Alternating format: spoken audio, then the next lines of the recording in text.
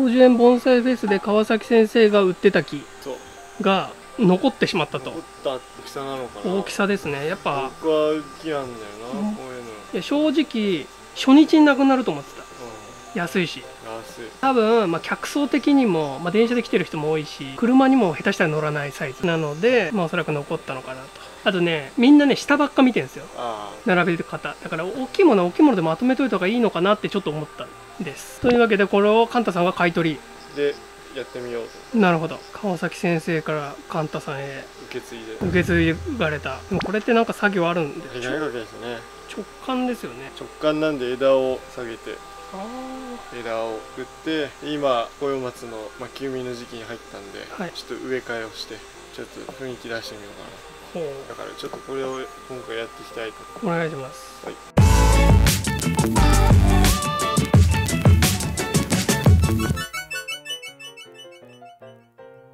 今の現在の状況をざっと見てみると多分ここが正面なんでね。僕が作るんでどこを正面にしようかなっていうのをちょっと考えた時にこの粘りがやっぱり正面に来ちゃってるんでこの辺りもちょっとやっぱり変えてみたらどうかなと思ってくるくるして、まあ、こっちもこっちでいいよな。うん。ただやっぱり直感の木なのでこういう曲がりが気になるんですよね。ちょっとした、なるほど。でいろいろくるくるしてあこっちでもないなとかいろいろ思ってこの辺かな。ここやっぱりここがその粘りの感じはいいんですけど、うん。ただここだとこの屈折が気になるんでうん。この辺だったらまっすぐに見えるんじゃないかな。なるほで粘りも左右に開けた感じでできるんで。で今の枝っていうのを、まあ、極端にそんなに減らすわけでもないんで、ちゃんと枝抜きを先生してるんでこれが裏枝。まあ一の枝が裏枝っていうのもあれですけどまあ一応裏枝。この比喩手だから、まあ、一応は左流れっていう感じになるんですかね。これがもう一番の利き枝になって。この枝がどうしようかなと思うんだよな。まあいらないかな正面に。ちょっと正面に出ちゃってるうん。っていうふうにやっていきたいと思います。なるほど。まず明らかいらない枝っていうことでこう正面とした時に正面とくるこの枝、まあ、正面の枝を、まあ、残す人もいるんだけど、まあ、木作りなので。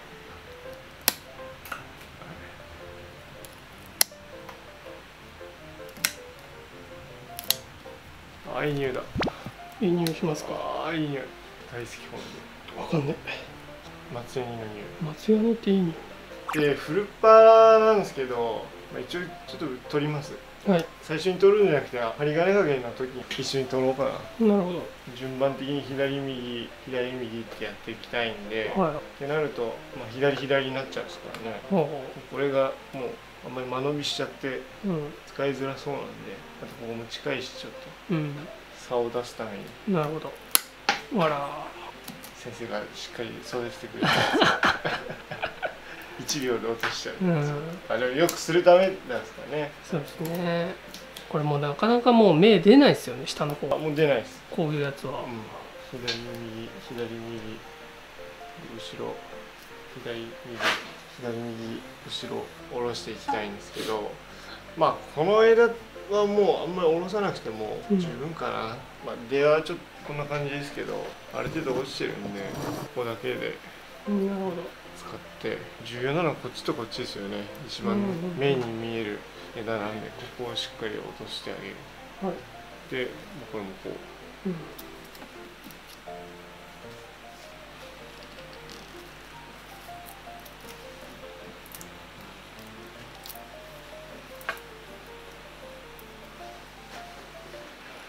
で下げながら。うん。メガネかける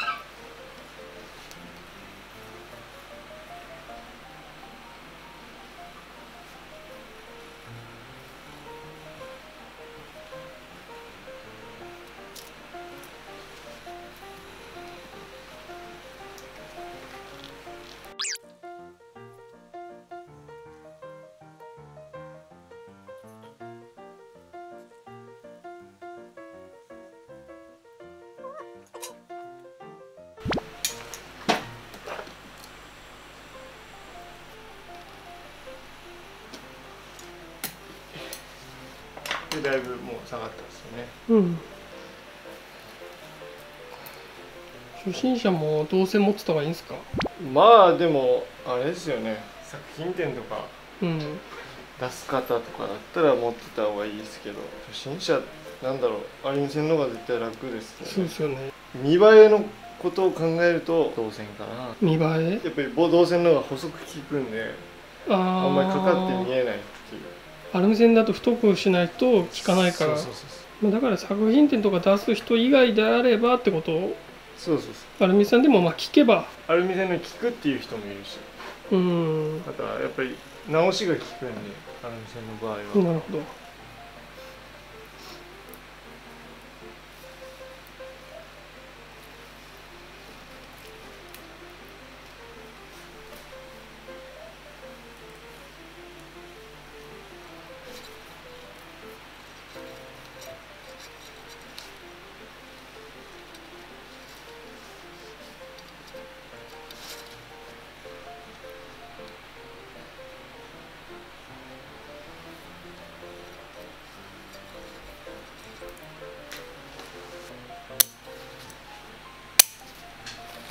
こういう直感だけはなかなかやることあんまないですか、ないですね。素材があんまりないですからねまず、うん、感ってないっすよ。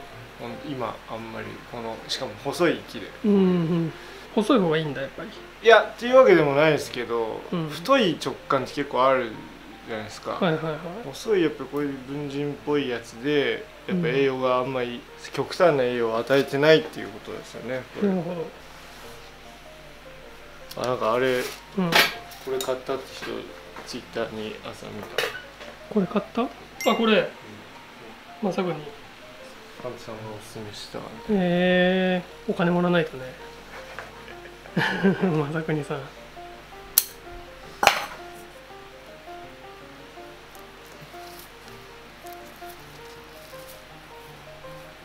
直感の木の場合はやっぱ幹はまっすぐ。幹はまっすぐ。幹はまっすぐ。それは大前提ですね。枝も少ない方がいいの？まあでも木によるのいやそういうわけじゃないですけど、うん、これはだから直感の分人になるのかな。まあそういうに近いですかね言い方としたら。言い方としては。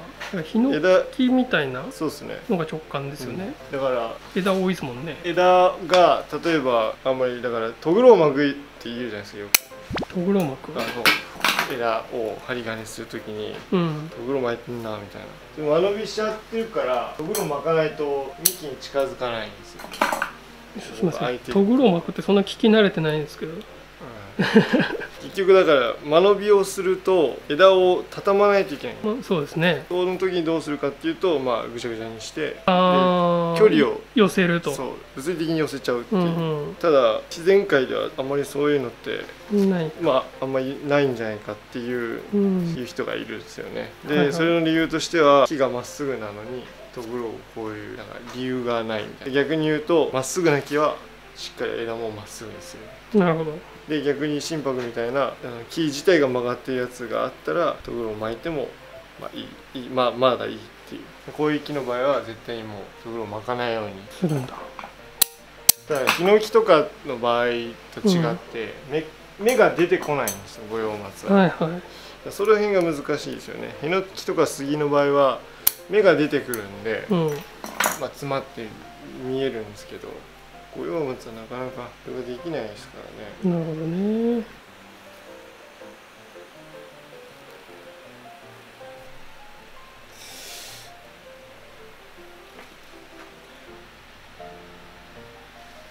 ここが今樹勢が乗ってるんですよ。割と太ってるんですよね。だからちょっとこの辺うん使うってのもおしゃれなんだよな迷いどこなんですよね。使うのがおしゃれ？残すってこ残す味として。僕ここで今いらないかなと思ったんですよ。ことえ？ここでもう使おう。これで終わりかなと思って。逆に使ってこれ残すっていうのも照れてはあるんだけど。おしゃれ見た目で言うとここなんだよな。こあここちの方がーコンパクトじゃないですかそうですね。あやばいなまあそれを伸ばしとくとうん。太るは太るんですよね、そうだろううん。ね、先生ごめん。ということで。切っちゃ先生ごめん。はい。うあー二つある。いいっすね。これが頭。これが頭。そっち下げると。そうでこれをちゃんと樹幹部として作るにはうんうん。しっかり芯立ててあげないと。いけないですねああ切っちゃった。これがいいって人もいるんですよ。普通じゃないっていう。なるほどね。そう。これだと普通なんですよ。先生はどうやって思ってたかが分かんない、まあえー、玉切っちゃったの？っていうのはもそうなんか見える。ねそう。そう。あそうあれあれがいいんだよ。気にしないと思う。性格的に。これもいいねってなるよ多分。だからこっちの方が万人受けなんですよ絶対に。そうだねコンパクトで。そう。ただやっぱりそういう考え方もあるっていう。でうん。特にうちの教室はそういう考え方が多いのでうん。愛嬌を残すとか先生の作り方ですもんね。遊びを持たせてあげるそう。そう無駄は排除するけど、うん。やっぱ遊びは必要だよねっていうのが結構うちは昔から多いみたいですね、え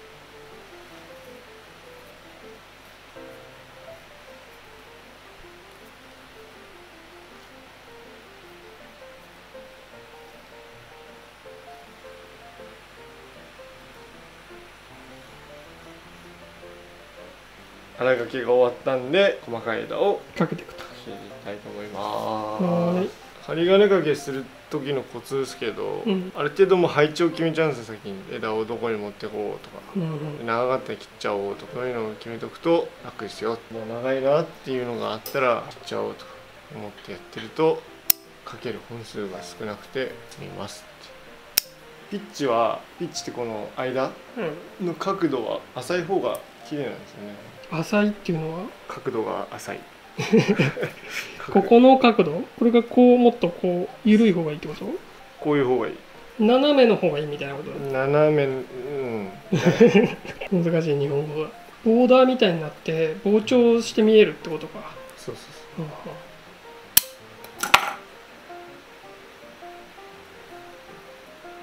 うんうん。で股は開くなってみんなはい。言うやつですねこういうところ。しっかり。閉じてあげる。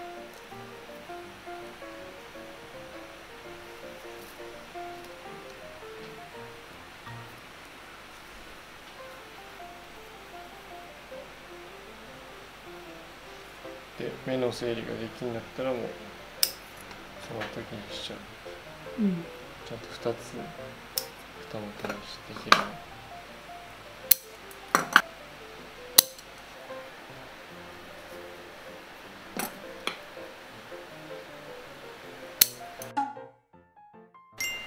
フルッパ取ると見栄え良くなりますね、手がベトベトに。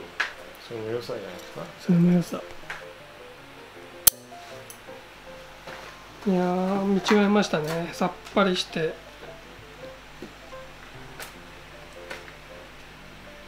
あー。やっぱだいぶあれですね。うん。時期的にヤニが出ないですね、あそうですか。やっぱり活動は停止してんだなっていうのはちょっと手見してもらっていいですか？本来はもっと出る。いやだから切ったちょこのうん。吹き方。あ切りあ口からの吹き方が違う。なるほど。これは冬でもこうなるから、そうなんだ、まあ、ここがねプツプツ出てくる。そうそう本来はもう垂れてるはずなんですよ。へえ出ない方がやっぱ木にとってはいいのかな。まあ活動してないっていうことですね。ダメージが少ない、いうん。やかっちょいいっすよ。であとはこれを後で。もう一回ね棚ができた感じが目も全部起こして下に向いてるのは抜くって先生が言ってましじゃあお昼から。ランたはいランチタイムでチすタイム。じゃあ端の目星が一応ついたはついたんですけど、うん。葉っぱのある木で幅広にしたいんですけど、うん。まあ、そのぐらいの大きさで今こっちにあるんですけどこれに入ればいいなと思ってなるほどただ深さがないんですよね。この鉢に入ってるので、うん。これを一気に削りすぎてしまってもちょっとダメージがはい。入るっていうのを考えてとりあえず一回こっちの鉢に植えて、で後々こっちの鉢に、まあ、移行できるようにっていう感じですかね、はい。理想はこれぐらい幅広いやつにやった方がうん。より世界が作れるんですけどただ、まあ、一気にやりすぎないっていうことで。すはい。あっちで一回薄い鉢になりさせてで次の植え替えでこっちにしよう3段なので、今回はちょっと深めの大きいちょっとだけ大きいやつに入れていきたいと思います、これは絶対入んなかった。結構根が回ってる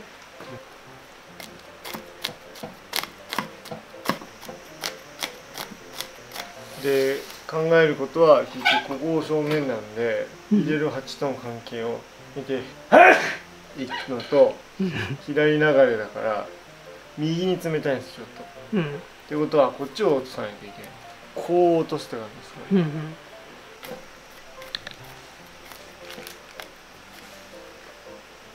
んうん。いい匂いしてるんですけどね。いい匂いしてる方がいいんだ。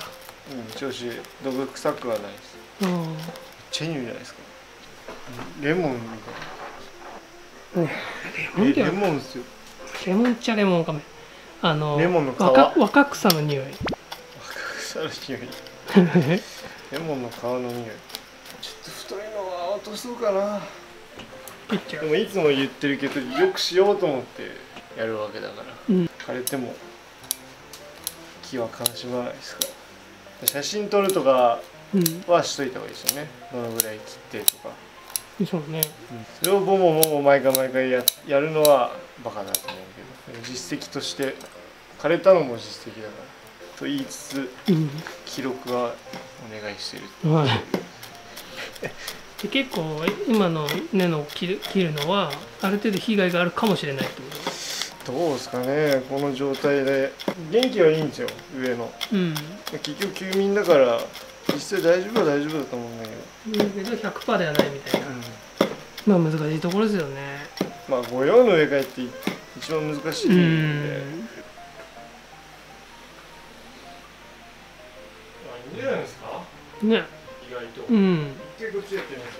ちょっと奥行きがありすぎちゃうんですよ。はい。木がちっちゃく見えるんだけど奥行きがないと、うん、やっぱこっちの方が鉢ちっちゃく感じますよう奥行きんないだけちの方がまあ空間はいいよね。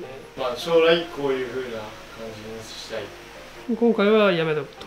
じゃあさっきのやつで。はい。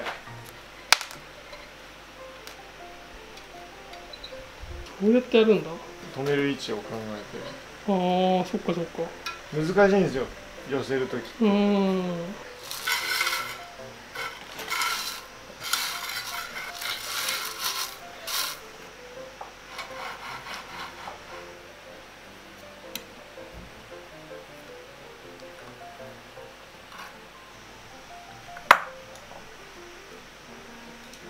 今後直感きそうだなと思うんですけ直感ブーム？ブームどに可愛いじゃないですか。直感って想像させられるじゃないですかこの直感って。そう。自然を。うんうん。若い世代たちに受けがいいんじゃないかなとへー商品でじゃ商ないと。品の直感が一番ですけどね。で重種で言うと？石灰ヒノキとか、まあ、杉とか。直感って結構難しいですからね作るの。盆栽の技術が全部入っ詰まってるっていう。直感に。感。それは初耳だ。なんかイメージだと針金でこうまっすぐとりあえず芯を作ってそうそうそで枝はなんかバランスよくってう感じ。枝抜かないといけない基本としては。ああなるほどね。そのき抜き方っていうのも基本の基本中の基本だから。うん。12裏12裏っていう1の枝2の枝裏枝あーそれが作れればどんな盆栽でもできるんじゃないですかね。なるほど綺ね麗に、それ売ってたヒノキみたいなのはねうん。ああいうの絶対人気あるよね。あるある。直感とは言わないけど欅とか、うん。ああいう自然を想像させるものの方が今の現代人の感性に合ってんじゃないか盆栽は全部自然を想像なさせるものじゃないの？分かんないじゃないですか。厳しさとか。あまあいかないからね。あだから普段見る木に近い形ってことね。だからより親近感が湧く確かに。